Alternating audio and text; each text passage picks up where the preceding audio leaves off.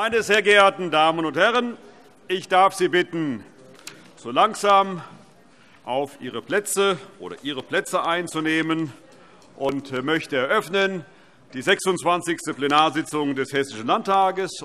Ein Blick in die Runde zeigt mir, dass wir beschlussfähig sind. Insoweit stelle ich auch die Beschlussfähigkeit fest. Dennoch brauche ich ein bisschen mehr Aufmerksamkeit und ein bisschen mehr Ruhe.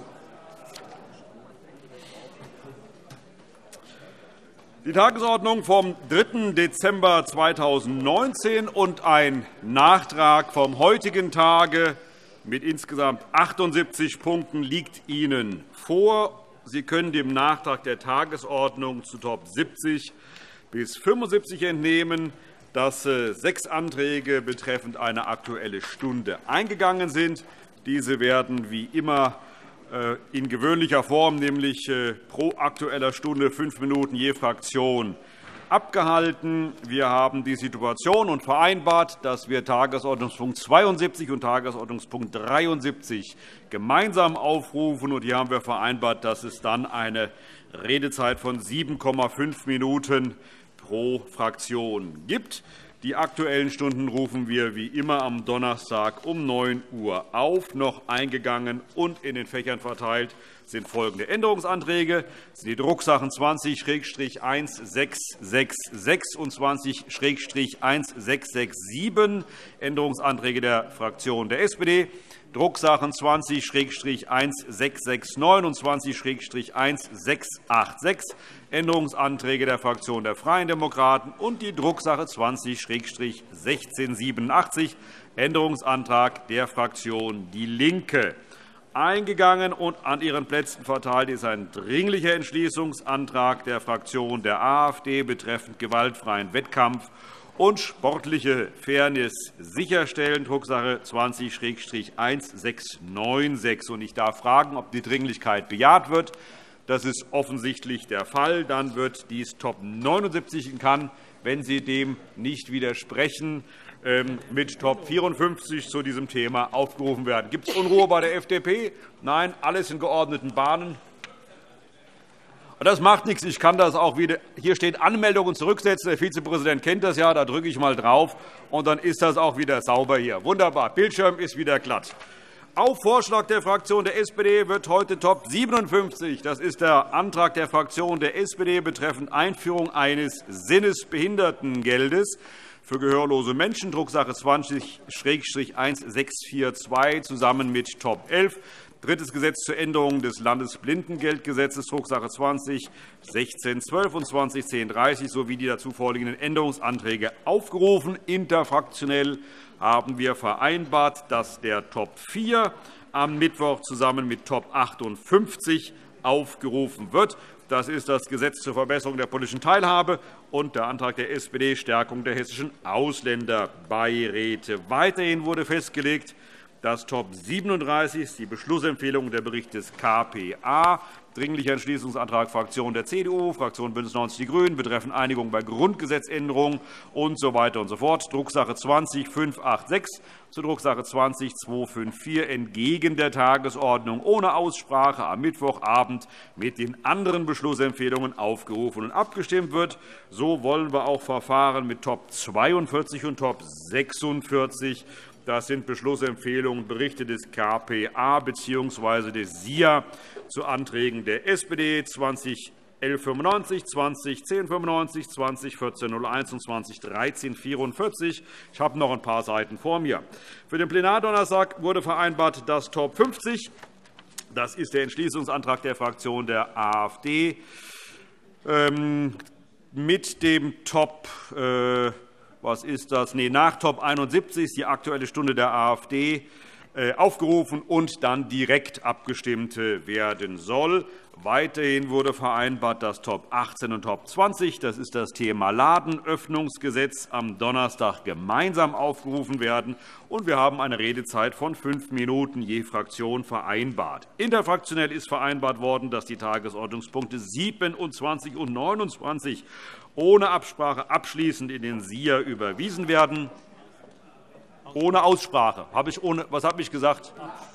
Also ohne Aussprache abschließend in den SIA überwiesen werden. Ich bedanke mich für die Aufmerksamkeit. Ebenso wird Top 32 der Antrag der Fraktion der SPD betreffend Praxiseinführung von Drohnen im Steillagenweinbau fördern ohne Aussprache abschließend in den ULA überwiesen.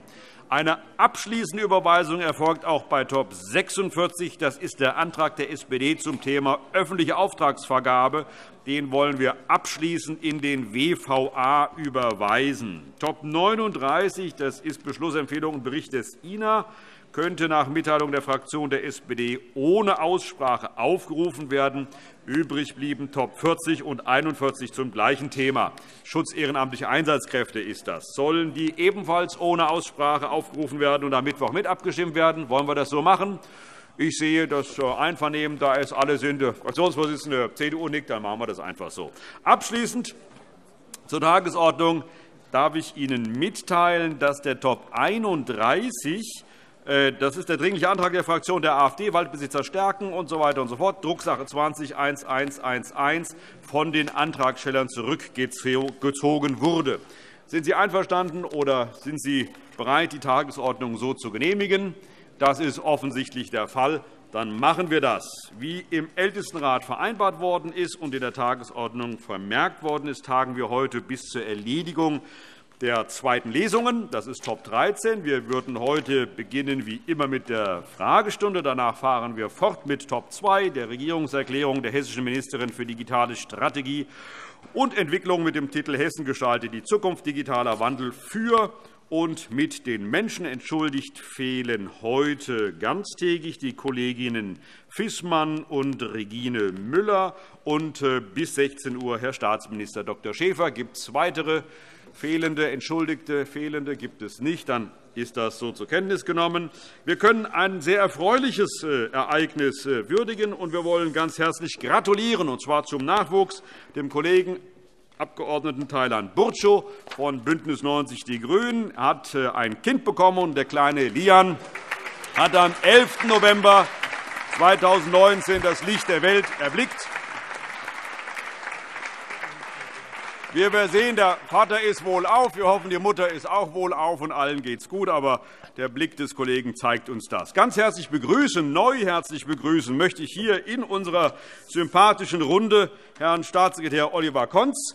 Herzlich willkommen, lieber Herr Konz. Sie sind seit dem 1. Dezember 2019 in Nachfolge von Dr. Tappeser Staatssekretär im Hessischen Ministerium für Umwelt, Klimaschutz, Landwirtschaft und Verbraucherschutz. Ich darf hinzufügen, ja, für uns kein unbekanntes Gesicht. Herzlich willkommen. Wir freuen uns, dass Sie ab sofort bei uns sind. Ja, hinweisen möchte ich noch auf zwei Veranstaltungen, die heute im Haus stattfinden. Zum einen ist das äh, der Briefmarathon von Amnesty International in der Eingangshalle des äh, Plenargebäudes. Und ich möchte hinweisen auf die Jubiläumsausstellung Zehn Jahre Hessischer Demografiepreis, den Herr Staatsminister Wintermeyer heute ähm, äh, eröffnet hat, in der Ausstellungshalle ebenfalls. Und die Ausstellung läuft bis zum Freitag. Auch das ist sehr empfehlenswert. Sie sind herzlich eingeladen, beide Veranstaltungen zu besuchen. Ich will noch zwei abschließende Hinweise geben. Einmal damit wir immer daran erinnert äh, bleiben, in den nächsten äh, vier Tagen vorweihnachtlich und auch besinnlich miteinander umzugehen, hängt im Übergang des Löwenhofes äh, in den Innenhof. Äh, das ist eine neue Einrichtung, ein, wie ich finde, außergewöhnlich ähm, äh, geschmackvoller Adventskranz, den ich Ihrer Aufmerksamkeit empfehle und verbinde das mit dem Dank an die Mitarbeiterinnen und Mitarbeiter der Landtagsverwaltung, die ihn sehr kunstvoll dort angebracht haben. Zweiter Hinweis. Den haben Sie auf Ihren Tischen, auf Ihren Pulten bereits gefunden. Das folgte im Grunde genommen dem Gedanken, dass Sie in diesen Tagen mit Kalendern und Schokonikoläusen überhäuft werden. Der Direktor und ich wollen Ihnen ein sinnvolles Geschenk machen. Und sinnvolle Geschenke ist natürlich, oder ein sinnvolles Geschenk ist unsere Verfassung, unsere ja, in neuer Form und in neuem Inhalt gestaltete Verfassung. Sie finden sie auf äh, Ihren Pulten, wie gesagt, in der aktuellsten Fassung und ich finde in sehr anspruchsvoller und ansprechender Weise im Übrigen auch aufbereitet. Das waren sozusagen die einleitenden Bemerkungen. Ich heiße Sie herzlich willkommen. Wir haben eine lange Zwischenpause gehabt, jetzt von der letzten Sitzung zu dieser Sitzung. Die Sehnsucht ist gestiegen aufeinander, wie ich merke. Der Austauschbedarf an Gesprächen ist auch gestiegen, wie man dem Lärmpegel entnehmen kann. Nichtsdestotrotz müssen wir jetzt in eine, oder dürfen wir, können wir, wollen wir jetzt in eine sehr arbeitsreiche Woche einsteigen. Wir beginnen wie immer mit der Fragestunde, die ich jetzt aufrufe, Tagesordnungspunkt 1 aus der letzten Fragestunde. Oder gibt es noch Bemerkungen zu den einleitenden Worten? Nein, gibt es keine Bemerkungen. Sie sind alle einverstanden mit dem, was wir hier vorne veranstaltet haben.